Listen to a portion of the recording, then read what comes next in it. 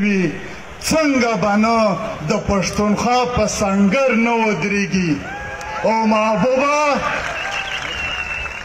دا د فیصله د یوویشتمې پیړۍ محبوبه دا د فیصله د یوویشتمې پیړۍ نور په اټک د افغانانو لښکر نه ودرېږي بسم الله الرحمن الرحیم په ټولو نه اول خو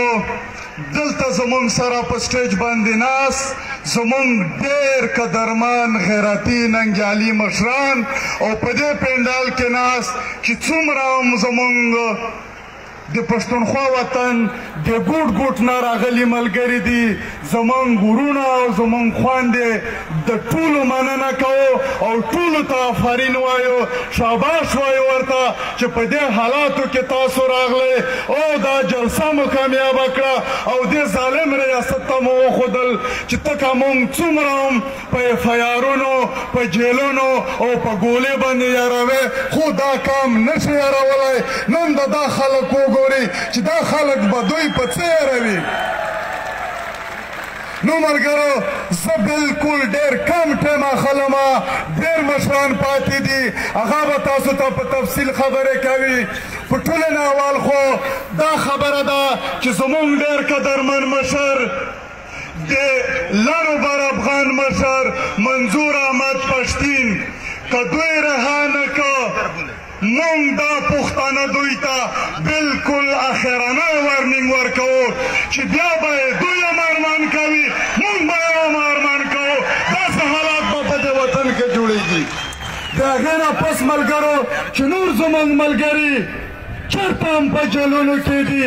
زه به یې نومونه ځکه نه اخلم چې کله زما نه د ځینې ملګرو نومونه پاتې شي چې څومره هم زمونږ ملګري په جیلونو کې دي هغه دا زر تر زره را خلاص کی که نه وي زمونږ د صبر زمونږ د صبر امتحان دا نور نه اخلي ځان دې په دې خبرو پوه کړي چې زمونږ تاریخ ته وګوري بیا به داسې حالات جوړ وي چې بیا به دوی خپمانه وي ملګرو بله خبره بله خبره دا هغه ده چې دلته په ټانک کې د یو ماسید په نوم بنده درنا ناسته ده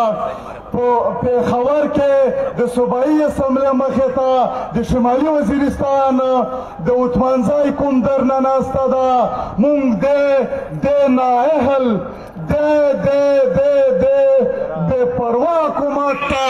دا وایو چې د دې خلکو نه شرم پکار دی چې د څه روپې غواړي د تانه د څه ډیمانډ کوي د تانه ځنې ځنې خبرې خو مونږ په سټیجونو کولای نه شو چې زمونږ سره یې وکړې زمونږ معلومه او نامعلومه بې عزتیانې وکړې زمونږ کورونه او مارکیټونه یې وران کړل نن چې د هغه کمپنسیشن غواړو مونږ بیا مونږ په روډونو ناست یو په میاشتې میاشتې څوک یې هم تپوس نه کوي نو زه وایم چې د مرکزي حکومت او د صوبایي حکومت لپاره خو ډیره د شرم خبره ده خو زه شرمیږم چې د دغه صوبایي اسمبلۍ ممبر یم چې شل شپه د ده مخې ته خلک ناست دي او څوک دا خبره نه ورسره کوي چې تاسو څه ورغلي یې. بله خبره ملګرو د اپریشنونو نه پس د دوی خیال دا و که دا هم څه ډېر غلط کار و ډېر غلط پریکټس و په دې وطن کې چې ویې ویل چې تاسو د خپلو کورونو نه ووځئ او موږ د تاسو په کورونو کې غله ګورو موږ راووتلو وطن مو خالي پرېښودلو بیا یې هم په وزیرستان کې په وزیرستان کې زموږ د کورونو د ړنګولو نه علاوه زموږ د بازارونو د ړنګولو نه علاوه هیڅ هم ونه کړل نن بیا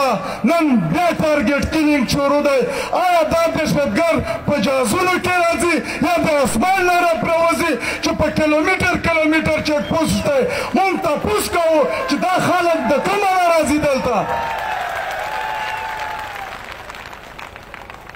بله خبره څرنګه چې عارف ملګري وکړه که په غلام خان باندې دي که په انګور اډا باندې دي زمونږ د وطن خلک هلته کډوال دي په افغانستان کې یا د نور ولس چې ځي راځي د هغې سره ډېر ناروا سالوک کېږي ډېر ظلم ورسره کېږي مونږ وایو چې د هغې سره د داسې سالوک وشي چې څرنګه سلوک په کرتارپور باندې په د خلکو سره کوي داسې به په غلام خان هم کوي داسې به په په په انګور اډه هم کوي داسې به په تورخم هم کوي داسې به په چمن هم کوي بله خبره ملګرو چې دلته په دې وطن کې یو د نوي جنګ تیارې لګیا دي، مونږ ډېر په ښکاره وایو ورته، مونږ ډېر په سپا الفاظ کې وایو ورته، دلته به دلته به د حکومت غوږونه راغلي وي، هغه دې واوري، ریکارډ دې کړي، دوی ته دې وښايي چې مونږ مزید د په پښتونخوا وطن کې په پردي جنګونو کې نه مونږ خپل ځان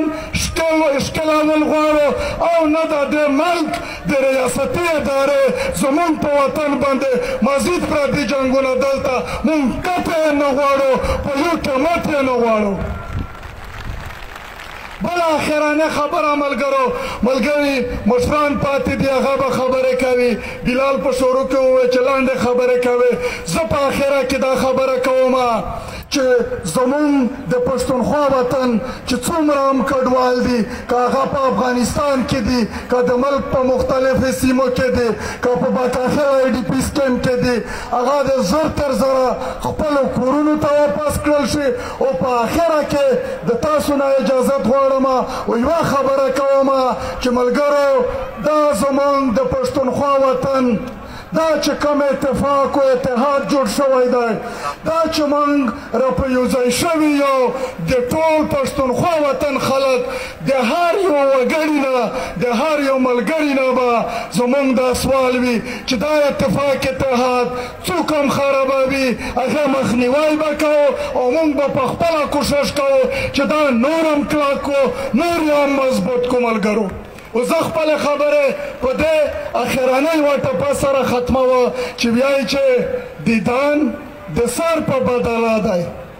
دیدان د سر په بدله دی چې سر سو ته خور وکه دیدانینه وسلام.